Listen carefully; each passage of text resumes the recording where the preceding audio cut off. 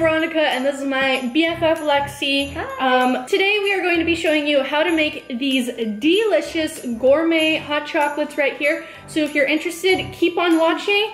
And without further ado, let's just get on with the video. I pulled up recipes on my phone from Pinterest. The first one I think we should probably make is the s'mores hot chocolate. We'll use the regular hot chocolate mix for that one. And then also graham cracker crumbs and marshmallows. marshmallows. Just casually filling up the pot with water. So while the water is heating up and starting to boil, we're actually gonna take our graham cracker crumbs and we're gonna put them in the bottom of our mug. Which one are we using? We're using a flower mug. So I put a bunch of marshmallows into this glass container.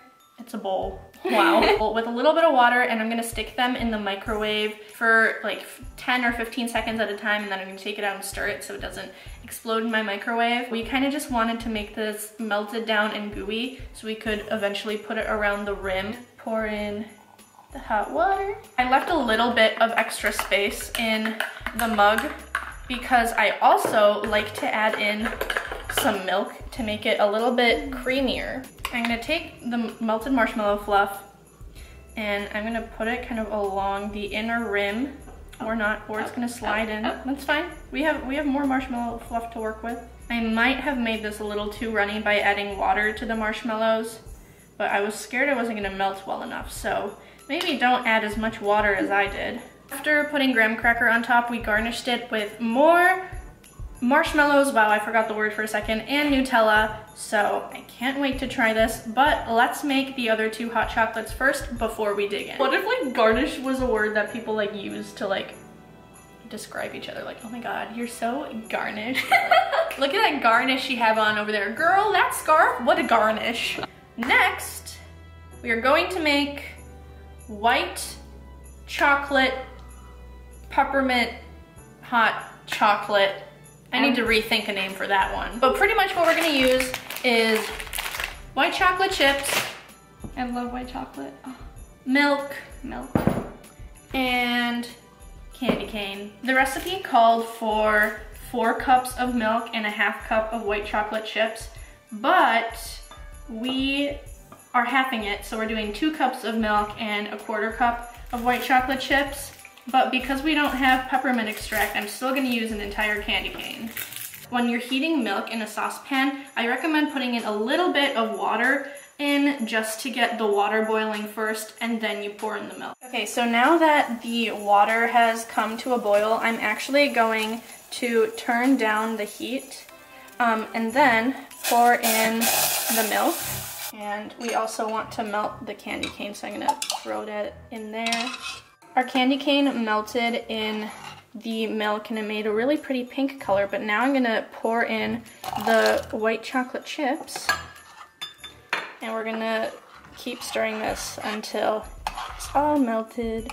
Quick disclaimer, we were supposed to put in peppermint extract, but I don't have any, so we're just gonna, we're not gonna put it in, and I don't know, if this is terrible, then, um, oops, sorry about that. Oh, careful, I don't wanna burn your hands. It looks like strawberry milk.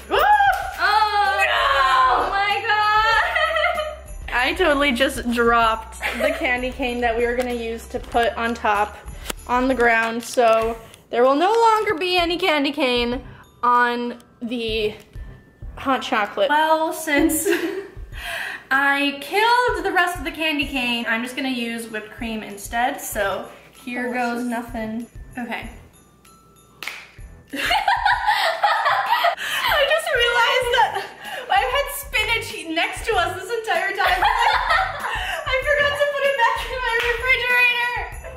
again, this next recipe also calls for four cups of milk, but that is just a little too much in my opinion, so we're gonna half it again. We need two cups of milk, two, just kidding, one tablespoon of Nutella, one tablespoon peanut butter, one tablespoon cocoa powder, and one tablespoon sugar along with marshmallows to put on top. So this one's a little more complicated, but let's just get started. Is dry powdered peanut butter a thing? Yeah, like PB2. What? So the milk is beginning to froth over. I'm gonna add in one tablespoon sugar and one tablespoon cocoa powder. Kind of reminds me of brownies. I'm gonna add in tablespoon of peanut butter now, along with one tablespoon of Nutella. This is definitely the one I'm most scared to try, um, but I don't know, we'll see how it works out. May I do the honors? Do it. And I chopped up some Reese's pieces, or mini Reese's cups. I don't know what these are called. and I'm gonna put it right on top. Oh, would you look at that. That is everything. Highly recommend making these. And yeah, thank you guys for watching this video. We hope you enjoyed. Please make sure to give it a big thumbs up and subscribe down below to both Lexi and me. And yeah, other than that, I guess we'll see you guys next time. Bye. Bye.